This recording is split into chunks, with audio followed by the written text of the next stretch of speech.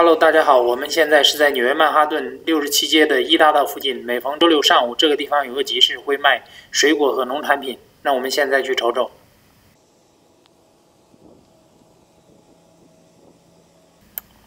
现在我们已经来到了这个集市这里，我们看到两边摆了很多的蔬菜，还有水果，在这里购买物品的人们也不少。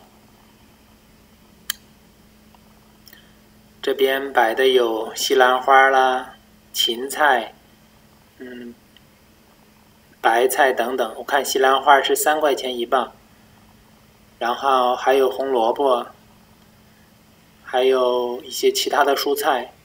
这边摆的有蓝莓、草莓，还有桃子等等水果。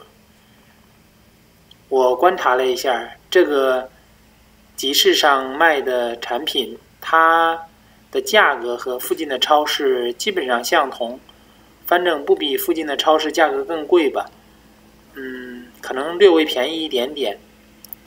嗯，有的说他们是从他们就是附近的农民直接把自己的农场里面的蔬菜运过来卖，但我感觉我感觉这个也不太别也不太像。如果是的话，至少也是比较大的一个农场，因为它的品种呢，你看也比较多，有各种各样的蔬菜。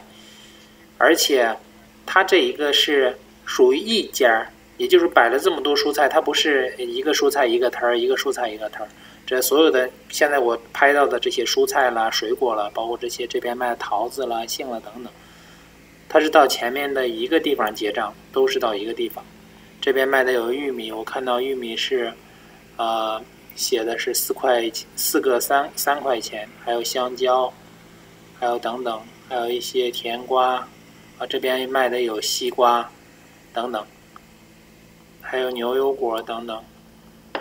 这个操场以前它是在这个操场里卖，不知道是不是因为疫情的原因，现在挪到外面来卖了。嗯，我们可以看到已经来到这个结账这个地方，大家都是在这一个地方结账，也就是说。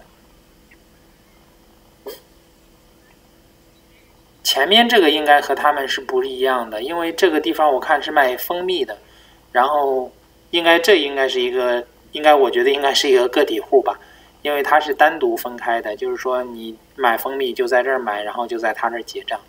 然后这个地方有一个卖面包的，这个我感觉应该可能也算一个个体户吧，因为他有做各种各样的面包。前面这一个是卖，我感觉像卖咸菜的吧。我看着里面都是酸黄瓜啦，等等，应该是咸菜。这个地方你看有各式各样的面包，很大的面包，就是卖面包的这个。这有三，这有三家，然后前面那一个卖蔬菜水果的，我觉得应该应该是一家，因为它虽然摆了这么多，因为它就在一个这个一个地方结账。我们看到在这购买物品的人还是比较多的。啊，然后排队排的还是比较长的，你看，非常多的人在这边购买。这就是今天的内容。如果您喜欢我的视频，欢迎订阅，谢谢观看。